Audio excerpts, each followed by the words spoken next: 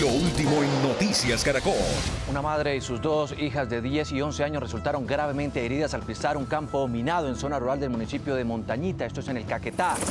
Este es el momento en el que son trasladadas por el ejército a un centro médico en Florencia. La madre y las pequeñas fueron movilizadas en helicópteros de la Fuerza Aérea y del Ejército. También en Caquetá, un suboficial del Ejército murió en medio de combates contra la columna móvil Teófilo Porero de las FARC. El hecho se registró en zona rural del Doncello, en medio de operaciones cerca al río Nema. En este momento se acaba de cumplir la misión humanitaria por parte de la Fuerza Tarea Júpiter, quienes en apoyo con la Fuerza Aérea Colombiana trasladan a los heridos hasta la ciudad de Florencia, los cuales en este momento se recuperan en, en el hospital de esta ciudad. Lo último en Noticias Caracol. 8 de la mañana, 14 minutos. Volvemos con el grave hecho en el Caquetá por la explosión de una mina antipersonal que afectó a una madre y a sus dos hijas en Montañitas, Caquetá. Desde el hospital de Florencia, Germán Cardoso nos acaba de enviar este reporte.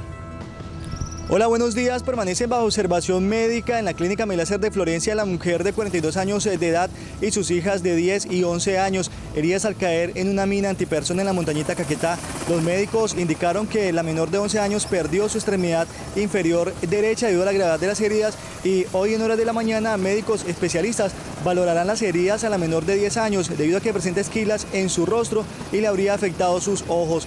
Esta es información que registramos desde Florencia en Caquetá. Andrés Cardoso, Noticias Caracol.